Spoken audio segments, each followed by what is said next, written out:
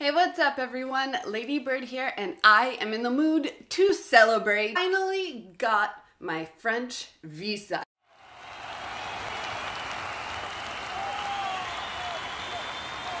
So to celebrate my victory, I wanted to make a video basically listing all of the awesome reasons why you should become a French expat. If you're from the United States like me, and also a number of other countries, you are allowed a total of 90 days in the entirety of the European Union. The European Union is made up of mostly neighboring countries in the continent of Europe. A quick check to know if the country you're going to is within the European Union is to see if that country uses the euro as their currency. I say the entire entire European Union. I mean the entire European Union. You can't just go from France to Germany and think you'll be okay to come back to France. Your butt better be out of the European Union or you could get banned for up to five years. Never, ever, ever, ever, ever, ever, ever, ever, ever, ever, ever, ever overstay your welcome in one country. Accidentally overstayed my welcome. I had a total of 60 days to stay and I accidentally stayed 88. So without going into too much detail, doing so can lead to the dreaded stamp in your passport. The dreaded stamp is there forever. It lets everyone know who looks at your official documents that you broke the rules. Let's just say I'm lucky that I did so in a country that favors money over strict rules. Just don't do it. Which brings us to the visa. Given a legitimate reason, the country in which you are staying will allow you to stay within its borders past the 90 days. I can be here for an entire year. I don't just mean France, I mean the entire European Union. How cool is that? Which means that I have an entire year to explore and fully immerse myself in the cultures of my choice. There are a number of ways that you can attain a visa, so be sure to subscribe because I will be letting you in on those secrets in a future video. Okay, Okay, so why is it freaking awesome to have a visa?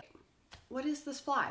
What is this fly? A fantastic reason to get your visa is the healthcare in the European Union. Most of my reasons for attaining the visa are pretty cool, but having social security and a public health system is a blessing and a privilege that I have not known anywhere else. It genuinely breaks my heart to think about my friends and my family who don't have this privilege, who live in a Western country that just can't figure it out. Having a visa gives me access to basic human necessity that is healthcare. For me, that is absolutely priceless. Another reason that I think it's friggin' awesome to have my visa is that in most most, most is that in most cases, once you get your visa for the first time, you can reapply for a second visa in the country. You don't have to pay for airfare. After a little paper shuffling, you can be in the European Union for an additional year. A fun reason why I love having my visa is because it gets me into places for free. For free.